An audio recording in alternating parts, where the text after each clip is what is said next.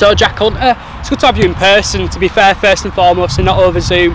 Uh, here at training, here in Halifax, uh, how are you feeling? Sort of first week training with the lads. Yeah, great. It's obviously it's been good to come down and meet everybody. Uh, I've obviously waited quite a while, three, four weeks to do it. So um, no, I'm feeling really good. I've enjoyed the first week of training. Um, just looking forward to the, the games coming now.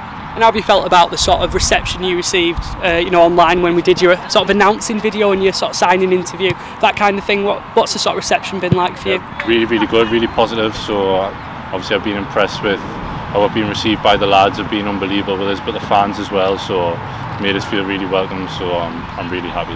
You mentioned you knew Kieran Green before you joined. How important has he been, sort of, in his first week for you? Yeah, brilliant. Obviously I've known Greeny a little while, so that helped us settle in. But everybody else has been been fantastic with us this week. So they couldn't have been friendlier and they couldn't have uh, welcomed me in any better. So I'm, I'm really happy. I know previously when we spoke, we obviously spoke about you've never played for a, a West Yorkshire club, you've never played for a club outside the North East. Yeah. So have you sort of climatised to, to West Yorkshire, Jack, in yeah, these really first good. few weeks? So far, so good. Um, I've, I haven't seen too much of it to be honest. I've just been concentrating on obviously training and gym and then getting home and recovered. So um, I'm sure I'll get to see uh, West Yorkshire a little bit more in the next few weeks and months. But so far, so good. And have you sort of found this pre-season to ones that you've done before? Because it looks like you know first week the footballs are already out, kind of thing as well. You know that compared to maybe you know going on like miles of runs and stuff yeah. that you might have done previously. What's this pre-season been like? It's been good. It's been really good. It's been a good uh, like introduction this week. Obviously we've had the footballs out straight away, um, but we're getting the work in with the footballs. It's, don't be fooled. It's still been tough. So. Uh, I think we're just building into the games, obviously starting next week. So, but it's been a really, really good start.